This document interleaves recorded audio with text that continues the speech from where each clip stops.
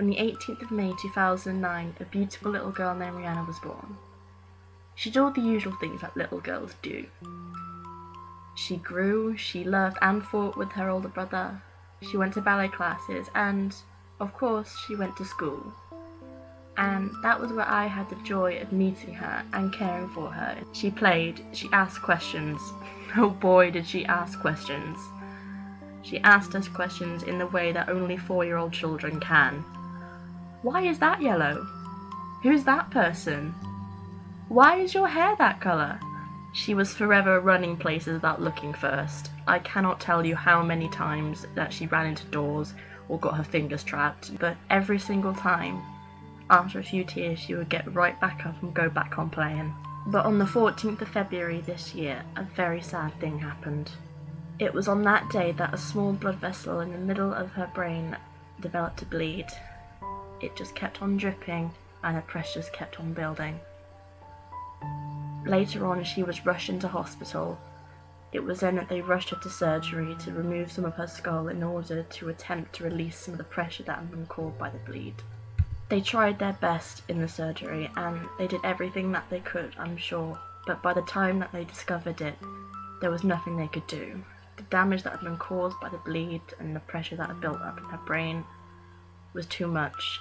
After the surgery, she was put in the children's intensive care unit and was on life support. She was on life support for a week before it, the decision was made that she was too weak and her body wouldn't recover, and the life support was turned off. However, she didn't die immediately as expected. She hung on. And over the course of that, she was transferred to the charity that this video is about, Helen Douglas House. She and her family remained there for another two months until she eventually passed away in April on Easter Monday. This event is incredibly sad and tragic, but over the course of this, I got to see what an amazing place Helen Douglas House is. They did so much for her and her family and enabled her to have a peaceful death, a peaceful passing. In a funny way, Helen House is actually a very beautiful place. They designed it with children and teenagers in mind. As part of the palliative or their end of life care, they actually enable the families to stay with their child through the process. And the room that Rihanna was in it was a very beautiful, spacey room, but connected to it was a double bedroom um, where her parents and her older brother could also stay. I went to go and visit her a week or so before she died to go and say my goodbyes.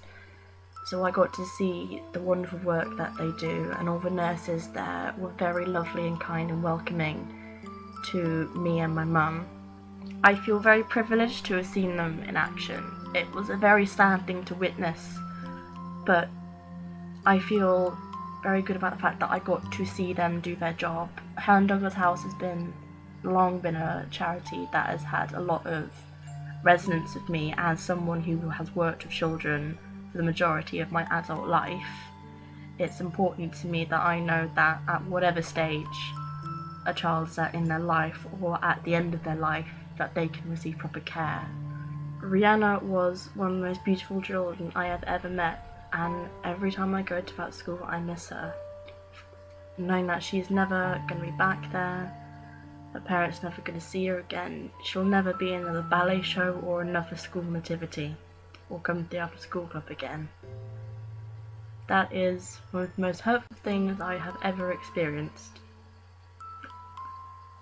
But I know that she was cared for properly right up until the end, I've obviously spoken about the end of life care and the palliative care because that's what I've seen, but another very important factor of Helen Douglas House is that they actually offer respite care to families that have children with life limiting or life shortening conditions.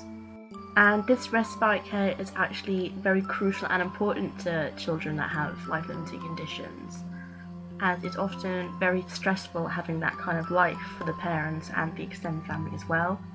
So it gives them a chance to have a rest and have a breather while still having the comfort of mind that their child's in the best professional care with people that know what they're doing and can accommodate for any instance. And that side of the home is actually it's very joyful because they focus on the things that children can do and that they can achieve and they take them on outings and they do an awful lot to support the family. As well as this, they have a lot of extra support services like bereavement counselling. Um, and this focuses on the whole family, so the journey doesn't just end there. They they have ongoing support for families after their child, child has died.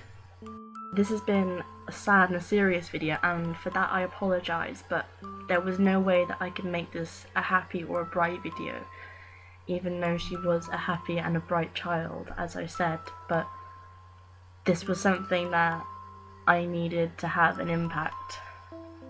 I needed people to know about this and that it is happening every single day. So please share this video and vote for it on Project for Awesome. And thank you for watching and I really hope you enjoy the rest of Project for Awesome.